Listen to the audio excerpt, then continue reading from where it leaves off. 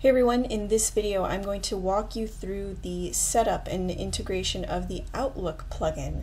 Uh, you'll need to register an application with Microsoft to grab some API keys. or a couple of settings there, um, and I'll walk you through a couple of uh, the data calls and actions so that you know how to make them work in your application. So the first thing you want to do is go to apps.dev.microsoft.com. So you'll need to log into a Microsoft account of some kind um, to access this section here. And once you're in, you'll create a new application. So I'm going to go ahead and do that here. And give your name, uh, or give your application a name. So I'm going to do demo app for uh, plugin. And you can hit create. This is just an internal name for you. Once, if, once you've created your application, you will automatically get an application ID. So you can go ahead and copy this and paste this into the settings of the plugin in your Bubble app. So if you haven't already installed this plugin, um, go ahead and do that. This is a free plugin and you'll want to paste in your app ID into the app ID fields. And to generate the app secret, you'll want to come down here and generate a new password.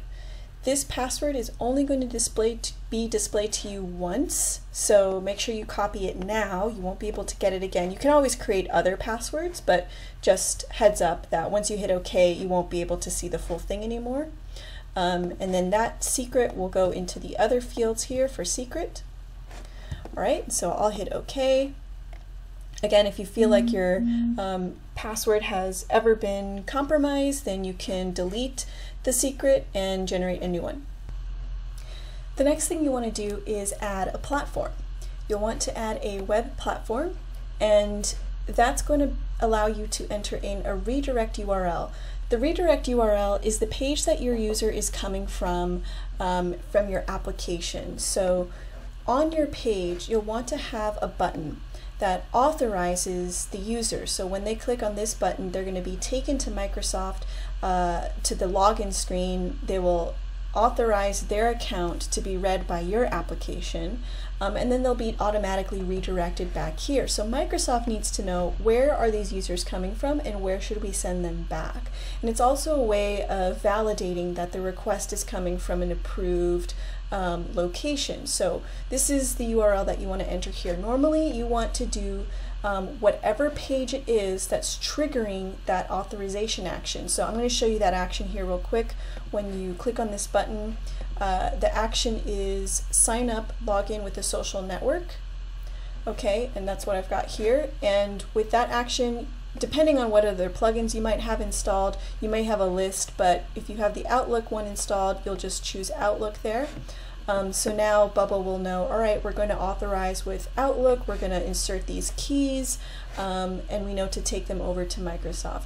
So depending on which page has this action, that's the URL that you want to insert here. However, I highly, highly recommend that you use a generic redirect URL, um, and you can do that by checking this box in the plugin settings here uh, to use this URL, uh, Bubble actually spells it out for you with your domain and then uh, these paths here.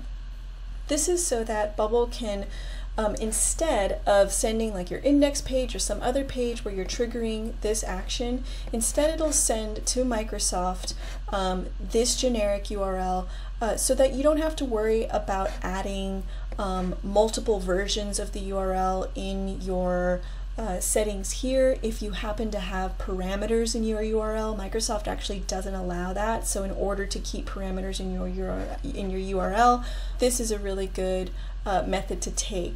Um, and in general, it's a lot easier to manage because if you ever change the name of your pages, it just makes it a lot easier to keep updated uh, in here. So I'm going to go ahead and add that to my um, redirect URL field here.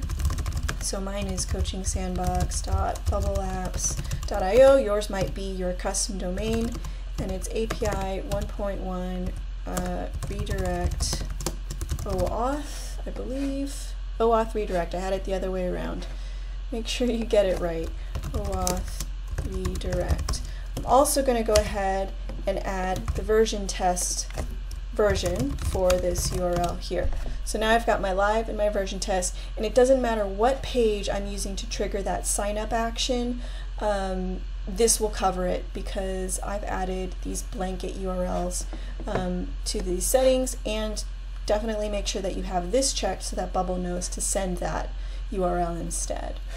The next thing you want to do is go down to your Microsoft Graph permissions. Uh, you will auto you'll automatically have user.read in here. You want to go ahead and add another one. It's called files.read. Uh, dot read this one. You can see that there's a ton of different scopes, but the ones that we need in order for the plugin to work is uh, user.read, which is already there, and files.read. So we'll hit OK to add those both. And then that's all you need to do. Now just save all of these settings at the bottom of the screen. It might take a couple of minutes for things to take effect, so um, if you're getting an error at any point, make, make sure that you give it a few moments um, to update. So again, the checklist is you'll need to copy your ID, you'll need to create a secret, put those into your plugin settings here, make sure that this checkbox is checked in your generic redirect URL, um, add a web platform, and add that generic URL to this list um, here. Um, and it's a good idea to do the version test version and your live version.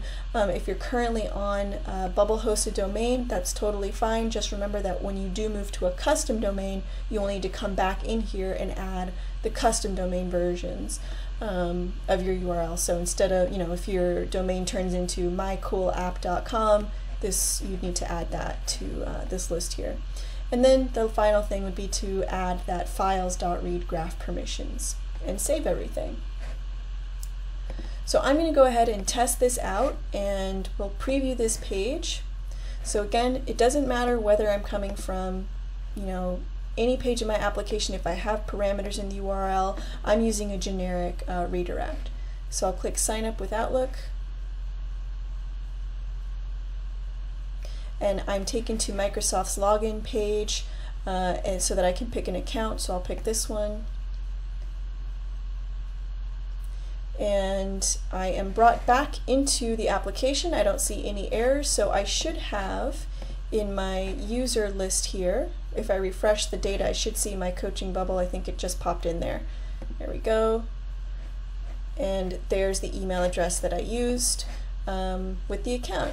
Now, depending on um, I was already logged into uh, into Outlook and I had actually already given this application access. So um, when you are running through this on your end, uh, there might be a second step on the Microsoft um, permission side uh, when the user clicks this button that will present them with a list of permissions to approve and it'll say um, except I'm going to overlay this video with that screen so that you can see what that looks like. Um, but the user will see that as a second step before they're taken back to the app. That's a standard flow. I'm sure you've seen it with other networks as well. Now, in order to use the plugin, you have both actions and data calls. Okay, so all of the actions are available in your workflows. So let's say I have another button to create a calendar. Okay, so I'll start edit workflow for creating a new calendar. And if you go to plugins, you can see all of the Outlook actions here. Uh, and create a calendar, I'll select that one, and the only thing that uh, you need to insert is the name of the calendar. So depending on which action you use, you'll have different settings. For example, with event, you have a lot more stuff to fill out about the event, um, and there are placeholders in the field so that you know what type of value um, to type in there. All right, now for the data calls, uh, those would be retrieved with the get data from external API expression. So I'm going to add a text so that you can see where that is found. That's right here, get data from an external API. And you'll want to select your API provider. So if I type in Outlook just to filter this down, these are all of your data retrieval calls. So you can list email messages, folders, calendars, events. You can retrieve the logged in user, uh, or sorry, the authorized user with the Outlook account. Uh, if you do that, you'll see you have fields for the user. You can get their user ID, their name, their job, their email. Um, and, that just, it depends on what uh, data uh, call you're looking for. So if you want to retrieve a folder, um, you'll see the fields that are available to you are the ID of the folder, the name. Um, now to retrieve a specific folder, it's looking for uh, a folder ID. Uh, now where do you get that ID? The best way to retrieve IDs for any of these um, items that require them is to use a repeating group actually. So if we use add a repeating group here, and I want to display all of my folders um, from my account, you'll type in, well actually the, the better way to, to know what you need to select for type of content is to actually start with the data source. So if you go to get data again from an external API and then do Outlook, and let's say we want to list all of our email folders, okay, um, and then you want to, it has a couple of extra information, you really just want the value of that list.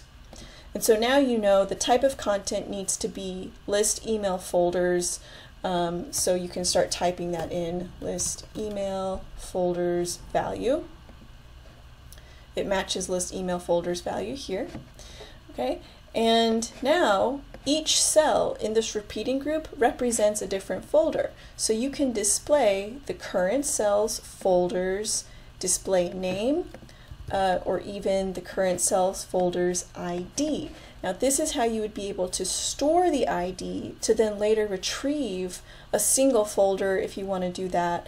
Um, this is just needs to happen in a workflow. You could have a button in the repeating group to do that. It really just depends on what you're doing. Um, but let's say, for example, you also want to run the action um, move message to a folder. So this just takes one email from one folder out of that folder into another folder. And you can see that what the plugin requires to make that happen is the ID of the message and the ID of the target folder, the folder that it's going to.